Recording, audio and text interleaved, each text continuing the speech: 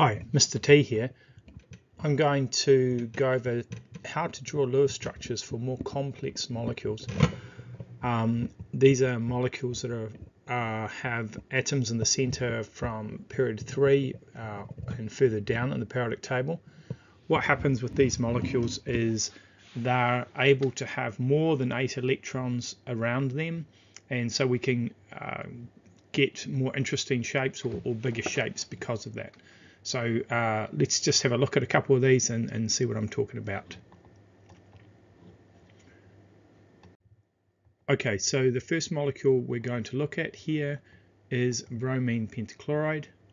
So the first thing we do is we count the total number of electrons in this molecule.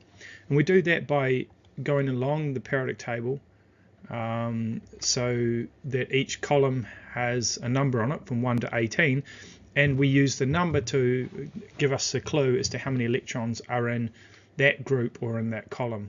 So if we go across to uh, bromine and chlorine, they're both in group 17, so they have seven electrons in their valence shell. So when we count up total number of electrons, we have seven from bromine, and then we have five chlorines with seven each. That's 42 electrons. We arrange the atoms. Uh, we put the chlorine, oh, sorry, the bromine atom in the center, and then around the outside we put the three chlorine atoms. Now usually it's the atom we have drawn first that's going to go into the center or apart from that it's going to be the bigger atom. Now since we've put all of these atoms around uh, we are going to now place eight electrons around each outside atom. So we, this is the same as we already know about drawing Lewis structures for simpler molecules. These are all the same rules up till now, apart from uh, we're allowed more than four things around the center atom. So put these eight electrons around the outside. I've used five times eight, that's 40 electrons. I've got two left, and the extra two electrons are going to be placed in the middle. Now, these by putting two in the middle, I now have 12 electrons around the bromine. That's fine. These atoms in the middle now can hold up to 12 electrons. So often we'll either have 8, 10 or 12 in the middle. So in this case we have 12. Uh, let's just check. So I'll check in the middle. Yes, there are 12. We're happy with that. I've redrawn this molecule down the bottom. So I can, I don't have to draw the uh, bonding electrons between the bromines and the chlorines as uh, a pair. I can just replace that and draw the line to show that they're actually a bond, whereas a line represents a bonding pair of electrons.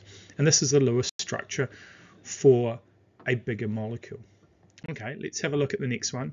So this is um, TeF4. Um, count the total number of electrons. So Te is in group 6. So we have 6 electrons from that, and the fluorine is in group 17. Sorry, this is group 16. 17, so it has 7. 4 times 7 plus 6 is 34. Arrange atoms, Te in the middle, fluorine's around the outside, and then 8 electrons around each fluorine. Here we go. And if I, that's uh, 8, 16, 24, 32, 32 electrons, got two left. I'll put them around uh, next to the tellurium. And I could now check to see the tellurium does have its full allotment here. It has 10 this time instead of last time we had 12, but all it needs to do is have 8 or more, so it can have 8 or 10 or 12. So we're happy with this Lewis structure. We can go about now, we can go on now and, and identify its shape and its polarity because we've done this, but we're not doing this right now in this video. I can redraw this again and, and put the bonds wherever there is a pair of electrons being shared between two atoms between the center atom and the outside atom. So this is our overall Lewis structure at the bottom. Okay, so the last example is we can draw Lewis structures for ions. When we have an ion, we either have a negative or positive charge. Now, if we have a negative charge, it means we have an excess of electrons, so we add electrons equal to the charge. If we had a positive charge, we have less electrons, so we'd remove electrons equal to the positive charge. In this case, it's one negative, so we're going to add one electrons. So we're going to count one chlorine and four fluorines. Here we go, that's 34. Uh, plus one electron gives us a total of 34. So arrange the atoms. Chlorine's going to go in the middle, bigger atom, but it's also the first drawn. And put the fluorines all around the outside. Notice I always leave a space at the bottom because I might have extra electrons, I might not. I know, I kind of know if I'm going to have extra electrons because if I've got atoms around the outside that need 8 electrons, if my number is a multiple of 8, then I won't need any extra electrons around the middle. In this case, it's 34, which is 2 more than 8, so I know I'm going to have 2 extra electrons. So I give 8 electrons to each of the outside, and I have used 32. I have 2 left, and I put them in next to the center atom, like I thought I would. Check that I have 8 in the middle. I do. I'm happy. And now I'm going to redraw this. So I'm going to draw uh, bonds where there are two electrons shared between chlorine and the outside atom. I'm also going to put a square bracket around it and then put the charge to represent that this is actually representing the ion that is ClF4 minus.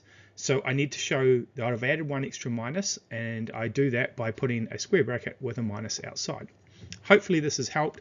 Use, if you're not quite up to uh, drawing your Lewis structures perfectly every time, maybe go back and look at the previous video I've done on level 2 for drawing Lewis structures um, practice doing these more complex ones as well as well until you're confident at them. Um, look out for the next video on the shapes and polarity. Good luck.